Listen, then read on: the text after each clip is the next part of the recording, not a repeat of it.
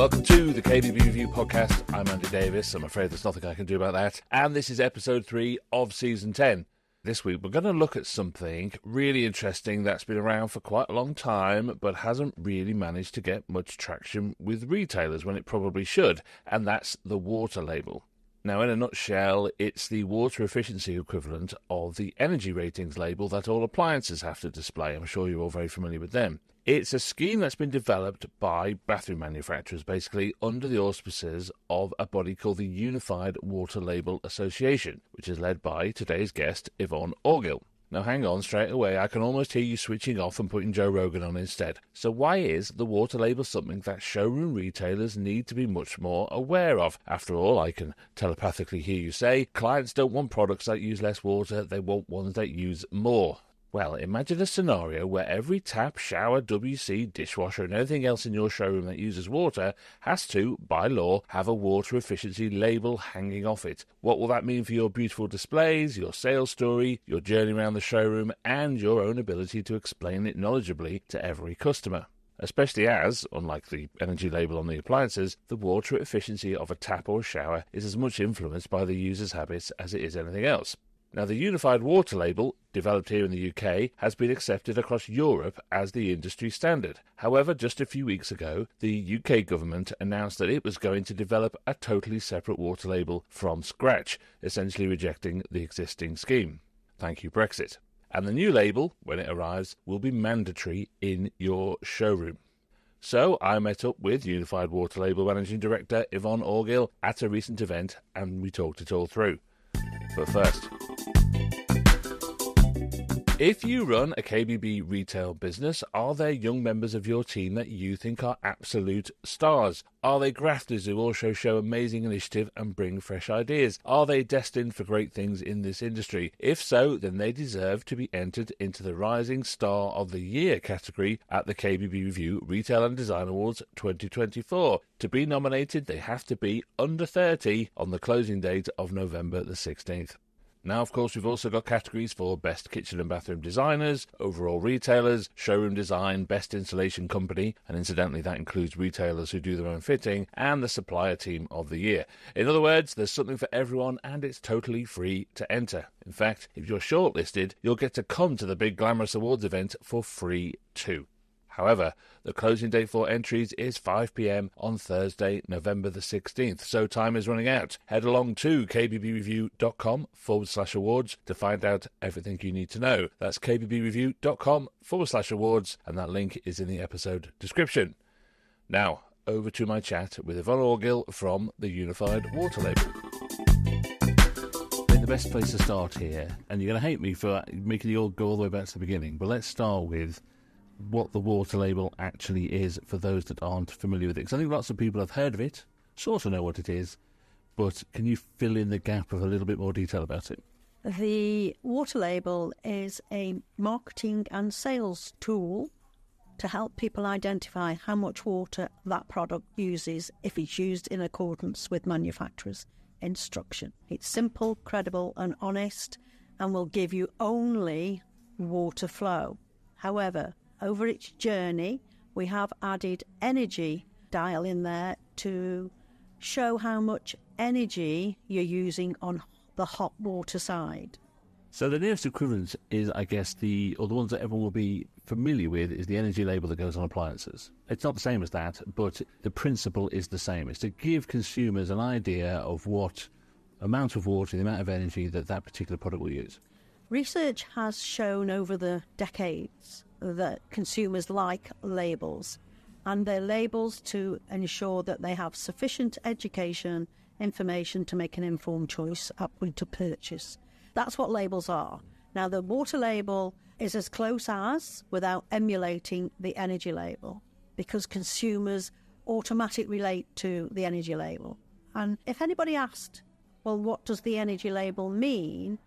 Consumers haven't got a clue on the technical criteria, mm. but they know that A rated is better than the G rated. And the water label is very similar. They know that the green delivers less water than the red. And it's just about informed choice to make that selection for the family that you're selling into. Okay, so the principle's there, and it's obvious that in this day and age, you know, all the environmental concerns, but also water meters and hot water, a lot amount of energy goes into hot water, that knowing how much water your products use when you're buying a new bathroom or kitchen is clearly incredibly important. However, unlike the energy labels on appliances, I suppose the barrier is performance. So if something I want a shower that uses loads of water, and every every retailer will tell you that consumers walk in, that's what they ask for. So I guess the barrier with the water label has always been about selling the argument that it doesn't necessarily mean a drop in performance. The how low can you go comes into question here. With the energy label, it's all appliances with a plug on the end, and as long as it's got a plug and you switch it on and it works, happy days. With water, if water isn't coming out of the appliance, the tap, the shower, or, or for the WC to flush, then you think, hey, hang on a minute, something's wrong here. So it is about performance. Performance is key, along with behaviour, because it's the amount of water that's wasted, not the amount of water it's used. Now, over the decade, manufacturers have been very, very clever in picking up the cudgels of yes, we need to conserve water or use it in a more effective way. And therefore, they've been using innovation and technology to bring to market products that deliver the performance that customers are looking for, but use less water, less energy.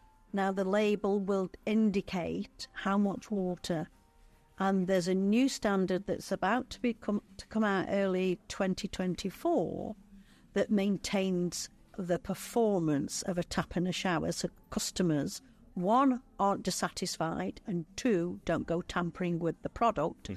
causing themselves even more harm and damage to the property. And a lot of retailers will already be selling these products probably without even ever looking at it, particularly with systems and things like that, where, where, the rules have been around for a long time. So it's more a case of you, you probably use it already, you just don't know enough about what it is because it's maybe it's not ubiquitous enough in the market. Would that be fair to say? Yeah, yeah, I think you're right there, Andrew. There's a lot of people that don't realise that their shower head probably has three to five settings, and the pulsating aspect of the shower gives you the satisfaction, not necessarily the performance, the satisfaction, that feel good factor. Mm. Most people don't know that. And some of those settings will use even more or less water because they've got eco settings and all sorts in there. And it's about the retailers using the USP of the product to make the sale. And they need to understand that water efficiency isn't poor performant product, not today. It was 20, 30 years ago, but manufacturers have been very clever uh, and, and got their innovation in there and technology. So there's a lot of standards, politics, certificates, all this kind of palaver that goes along with introducing standards, whether it's in water efficiency or anything else. So we'll go into that in a minute. But I think what we really need to do here is, is get to the bottom of why this is important to retailers who own a showroom. Because all this sort of happens over in a factory somewhere or gets printed on a box and it's nothing to do with them. But if I owned a showroom, why is this important to me? Why do I need to know about this stuff? Right. If it becomes law, that you have to have a mandatory label in the UK. When the majority of products are imported, you can end up with dual labelling on the literature in the box. If you've ever bought a new TV recently, you've got about a 70 page guide and it's split into 10 languages and it's only three or four pages that are relevant for you. Retailers will have something similar. You will have to label every product that you have on display in your showrooms and manufacturers will have to carry a mandatory label in all their product literature, on their packaging, and also on their websites to ensure that the consumers have access to that information. So, what does that mean for a retailer? Say they've got 20 bathroom displays on, on show, and each one's got a bath, a tap, a shower, a WC everyone's going to have a label on. Now, Mrs. Consumer comes into the showroom and she'll then want to know, well, what does that mean for me as a bathroom suite? So you've gone from the individual label right the way through to what does that mean for me completely. Yes, there's a lot of subjective finger in the air calculations going on, but on the whole, the government's quest is to drive water use down to 110 litres per person per day and the retailer will play a part in educating consumers on how much water they will And what use. is it now? It's a roughly depends on whose stats you're looking at. It's a roughly around 142 litres. That's per quite a big person. drop. Do your own calculation. Yeah, it's doable. Can you do it? I only use 105 litres per person per day in my home because when you calculate it all out, because you use top washing machines, dishwashers, I've only got short hair, you start to be a bit more water wise. I suppose one of the differences between appliances, for example, appliances are like a fixed cycle, or they're either on or they're off, like a fridge, or a washing machine, dishwasher, they're a fixed cycle. You press the button and they go through it. Where so much of water use in the bathroom or kitchens with the tap in the kitchen, it's about how long you leave it on for. Yep. There's such a personal control over it, which is where knowing how what the efficiency of it is is much more nuanced yet important.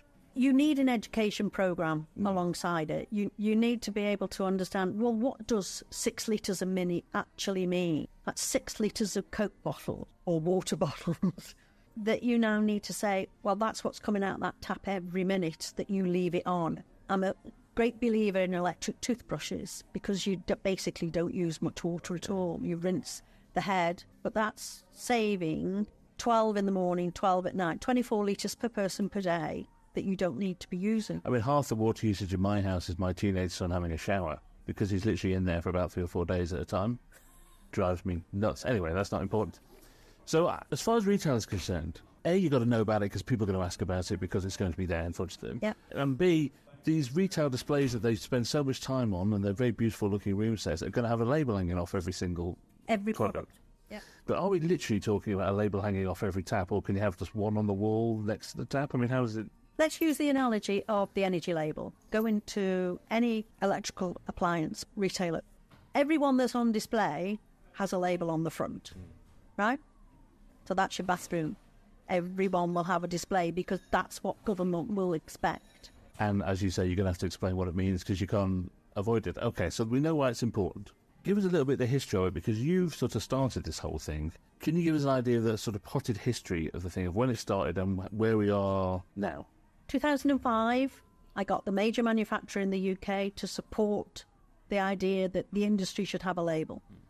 I kept hearing it in different forums that we were attending. 2007, the technical, the first technical criteria had been written and the first product labelled 1st of September. Lecico were the first one to register product. 2009, it went to Europe because Europeans could see the benefit of industry having a label on the products. So 2009, the English version became Europeanised. Same standards, European standards, and then along came Brexit. And Brexit was a headache that we had to overcome. But the industry remained European, and therefore the whole of the bathroom industry, where majority of the products come from, decided that their label was the right tool, and that's where they've continued to support it. And that's what's happened. And then the UK government decided that they want, want a mandatory label following their research, which you can question all the way through it. They quote the Australian Water Sense. Now, Water Sense is recognised in ISO 31600, mm-hmm. International Standard on Water Labelling, but so is the European water label that we know today as the Unified Water Label. Okay, let's recap a little bit. So you, you're starting to get all, all, all, all European directives on me. So, first of all, one of the reasons why you started all this, because I know because we, we, we've been talking about this for years, is you could see, I mean, the, the, the four sides of the prescience to, to see if the market doesn't come up with its own version of this, it will eventually get a, a, a label thrust upon them by people who don't really understand what's going on. So that's basically been your argument for 10 years, or nearly 20 years now. So you've got to the point where, and, it's, and, and you've driven this all the way through, where the UWLA, the Unified Water Label, is accepted across Europe by most of the massive manufacturers that sell in the UK. And your argument up to that point was, look, people just need to use it more, they need to get it out there, manufacturers need to do more to market it and get it out into showrooms, etc. And then, as you say, along comes Brexit. So the British government then launched its own consultation, its own inquiry into the validity of our water label and making it a mandatory system. So what did you think at that point? You must have thought, fantastic, there's one you can get out of the box, mate, here it is. To a certain extent, yes. But I'm also a firm believer that industry should actually be the driver of its own destiny mm. and work with governments, not against governments. So I was very disappointed with UK government at a time where they're cost cutting. You know, Rishi Sunak's finding out where, where can he pinch pennies from everywhere. That they then want to waste 27 million quid of taxpayers' money on a labelling scheme that would be identical to the one that the industry is already driving forward. So, this is the results of the consultation. This came out a couple of weeks ago. And basically, what they said was water label, great, we love the idea we think there should be a mandatory water label. Okay, fair enough. But we're going to start our own one from scratch, virtually. Yep. So when I read that report, I just thought, why? I can see why they might take your scheme and think, okay, we need to tweak that and change that, and that doesn't apply as much to this, because they want to include dishwashers and wash machines, things in it, which yours doesn't currently. But you've already been anticipating that for a while anyway, of, of expanding its reach. So you know these people, you talk to DEFRA, you've been part of the consultation. Why do they feel they need to start a whole new scheme from scratch? They don't trust industry. A lot of government departments have limited trust in industry. But the Unified Water Label has been developed and written as close to eco design as it could possibly do. So mm. it's got all the relevant aspects in there. It just beggars belief. Is it the idea that they make an assumption that a label developed by the industry is going to naturally favour the industry Whereas the government's view will be it's got to be a mm. consumer facing device. This is going to make life easier for manufacturers, not consumers. It won't favour the manufacturer because within the consultation response report, it states that they want third party compliance certification, which means manufacturers are going to be facing a £50 million bill on trying to find the capacity in test laboratories to certify their products, not just to a mandatory label, but to compliance of all the regulations that are currently out there. And there's two or three that really do conflate which one takes precedent. So the label will be more or less similar to what we currently have, but it will have all the technical criteria certification behind it, and manufacturers won't benefit.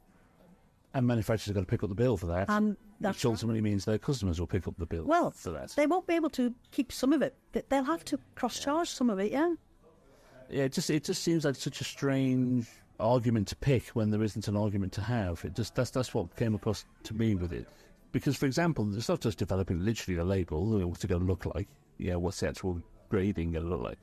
But you've got a huge database of products that are certified with the water label. And presumably they've then got to start that database again from scratch. Yeah. We've got about 160 brands supporting the label, not just manufacturers, merchants, retailers. They're on there with a database of 17,000 individual products. And presumably, this doesn't affect what happens in Europe, as you say. So if you're, I don't know, Roca or Vitra or one of the big European manufacturers, you're going to you're going to have your European water label, your water label, and then you'll have to have a completely separate one in the UK. DEFRA stated that it would be a UK only label. So, what happens to Northern Ireland? We all know the issues. And they're not allowed to have any toilets in Northern Ireland. I think that's the that's the Brexit deal. I think they'll all get a space yeah. for the go. They'll all go into the RSC. but these are the complexities that have got to be worked out. It's so odd when these things get so legislative. They become so tied up in politics and meetings and committees and standards sit in a room for an hour and nothing happens, or you, or at the very least, you go backwards every single time you have a discussion with somebody different. It must drive you nuts. It is very difficult. It is challenging because they're not technical experts that sit in some of these forums. They're water utilities, they are local authorities. not saying that they haven't got the experience or information, but they don't understand the nuances of putting together a toilet, putting together a shower, and what, what are the consequences of, of the water flow through either product. Touched on it earlier on, didn't we? One of the things is okay, you can have the label and you get the label on every product in all the showrooms. But a huge part of this is about nudging your consumer to think differently, isn't it? I mean, I've seen some great products that have a timer on the shower and all these kind of things about changing habit and changing behaviour. And I think it'd be good to see a bit more conversation about that coming out of the government it, and water companies and about arguing over the well, international label as you've said, Andrew, I've been uh, on this path for many, many years. Yeah. Label your product, educate consumers, but unless they change behaviour, you're not saving one drop of water. But this is where the influence of the retailer and the showroom and the installer, this is where it all comes in, isn't To, it? to a Talk it certain extent, the, the retailer or the installer will influence the purchasing of the product, right? So the, the retailer can say, yeah, an 8 litre shower will give you an experience of a 15 litre a minute shower. But go back to the story of your son 30 minutes in a shower, he ain't saving anything. No. And your electricity bill isn't going down either. I just give him less food, it's fine. It is about behaviour. Mm.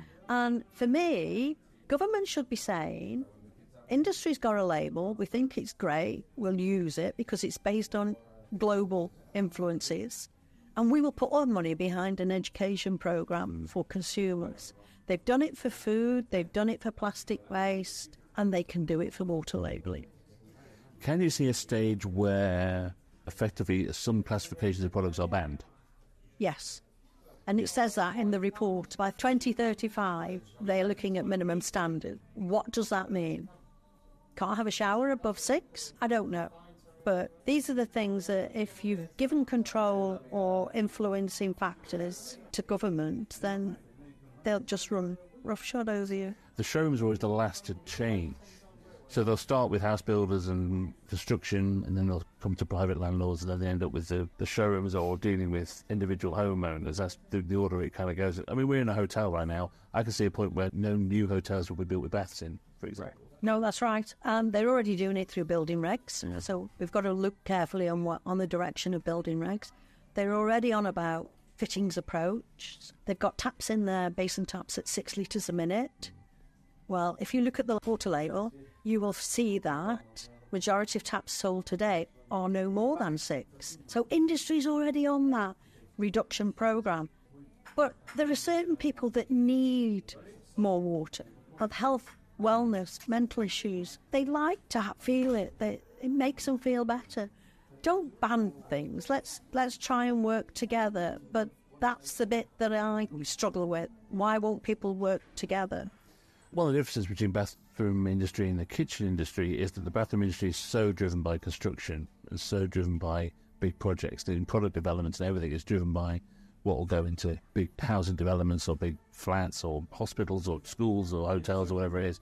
And because they are so controlled by legislation, in a way, the retailers will end up having no choice because the only products available or being developed will be ones that fit all these standards anyway. So just take that analogy. It'll make it even harder to sell one brand against another brand because your USPs have all gone Yeah. because legislation has driven it that way. So it will be price, it will be some marketing people have got to come up with some great innovative ideas of how their USPs fit. Because if water's not coming out the end of it, I ain't buying it. Or you've got to flush it twice or whatever it is. Yeah. Or, or put more bleaching down. It's very easy for things to tie themselves up in knots. We have this whole thing with CE marking. There's still a lot of product in the market that is effectively shouldn't be sold. Yeah, it shouldn't be shouldn't be being sold and get shipped over here. And here's another rule that comes into place. And the problem always is, as ever, is who is going to enforce it? How is it going to be enforced? Is someone going to march into your showroom and point at things that haven't got a label and shut your showroom up for the day? It means nothing without any teeth, does it? No. We have two bodies. We've got trading standards and the OPSS. Which is Office of Product Safety and Standards. The structure's there, it's not well funded, but their priorities are products that will harm, maim, injure the consumer. Saving water isn't going to be high on their agenda. Um, and the regulator, which is the water utilities, don't have the manpower to go out there and to make sure that every product is compliant. So this is why they're trying to look at doing it through standards, and it's not necessarily the, the way forward. A certificate can be copied, so you do need foot patrol, and that's not going to work, is it? No, it can't see a kind of bathroom police kicking your door in because you haven't got a label hanging off a tap. Perhaps there's a, a new career coming, Andy. It's only a matter time before that's like a Channel 5 series, isn't it? Bathroom police emergency. Yeah. All, But that's always the problem with, these kind of schemes or any kind of scheme, isn't it? It's, it's, it's all very well saying you have to do it, but if no one's making you, it's reaching that momentum, that critical mass. But it did happen with the energy label on appliances because they're everywhere. How did that work? Why has that become a ubiquitous thing that everyone knows? Well, they've gone through an awful lot of change. They've moved with the market. Bureaucracy crept in not that long ago. The, um, an A rated and a C rated were actually the same rating. There were some products entering the market that were bucking the system, and 30,000 uh, products across Europe were tested, and majority were found not to be displaying the correct one. But bear in mind, how long's the energy label been out there? 30 years, if not more. But it's back to put a plug on, switch it on, it works. Does it work effectively? Well, that's another story. Turn the tap on and nothing comes out. It's not that it's inefficient, it's not doing what it's supposed to be doing. Plus, I guess there is other factors like water pressure and you know, your boiler and all those other things that will affect how much is coming out and how fast it And, and that there, there's the nuance of our, of our market. We've got probably 60% on high pressure now, 40% on low pressure. You put a low pressure system on a high pressure system, and you'll get a fireman's hose out of that, that product. Those complexities exist in our market today, and therefore no one mandatory system will work correctly. Let's try and work out what the timeline is here. We've had the consultation. They've said they've pretty much concluded this is what they want, but as you say, the battle's not over yet. What is the timeline of this? What what kind of markers in the sand have they put in for when things might happen, when a mandatory label might come in, when a showroom might have to start putting labels on everything? Showrooms should automatically be using the unified water label now. Get themselves used to using the label, use the industry label. Government has already said they would like to introduce by 2025 a mandatory water label. Well, come on, let's get real. We've got stakeholder meetings to have to work out the technical criteria, the look of the label, and how it's going to go forward. And then we've got an election. Is the incoming government going to be supportive of wasting 27 million quid? And that's before a mandatory label by DEFRA is implemented, and there's got to be a transition period. And normally, transitions periods are between 18 months and two years. So that's taking you up to 2027 anyway, and DEFRA is renowned for being slow. And they've said in that consultation report that they want to work with you. How willing are you to work with them now that they've basically said they don't want to use your label? Because they might come to you and say, "Can we have your database, please?" Or My question would be to you, Andrew. After working on this label since 2005 and where we've got to today, Yeah. and somebody wants to close your business down, take all your intellectual property, what would you say? Yeah. Nothing I can record on this particular podcast, Yvonne. That's part of the argument, or, or part of the process that has to take place from this point on, isn't it? Because they are they have to work with the industry. They have to ask people to develop these standards. Who are they going to ask if it's not you, or not people from some of the big suppliers or manufacturers that already work with you? This other mystical panel of people that you don't know, the Illuminati of bathrooms. They're not.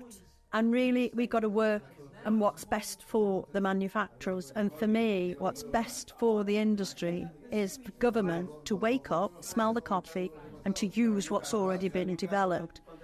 Rishi Sunak, in his closing speech at the Conservative Party, said he wanted to work with small businesses on environmental. And here is DEFRA about to close one of the small businesses that has worked endlessly and tirelessly to develop a labelling scheme that is recognised on the global platform under ISO 31600.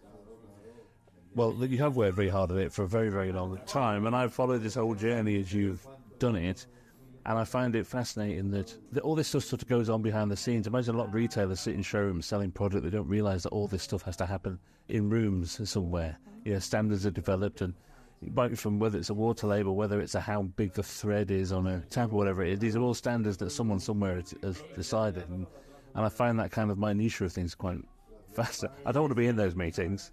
Let me just stress that. I don't want to be in the deciding the thread on a tap meeting, but I find it fascinating that those things happen. So keep fighting the good fight. We have to, don't we? Because 160 brands, 17,000 products. We haven't got it wrong. So fight for what you believe.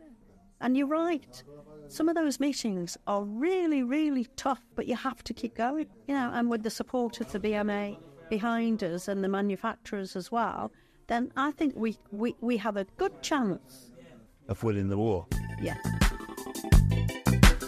So that was Yvonne Orgill, the Managing Director of the Unified Water Label Association. And as I said in there, this is the stuff that goes on behind the scenes when new initiatives, standards, and laws are set, and they do directly affect your business. I've said this before, but for the UK government to hit all the environmental targets it has committed itself to, it will have to bring in dozens, if not hundreds, of mandatory schemes in a very short space of time. And I suspect it's business owners that will feel the brunt of them. You can find out more about the Unified Water Label at uwla.eu, and I'll put that link in the episode description, along with the link to the KBB Review Retail and Design Awards 2024. Remember, it's totally free to enter, but entries close on November the 16th. I'll see you next time.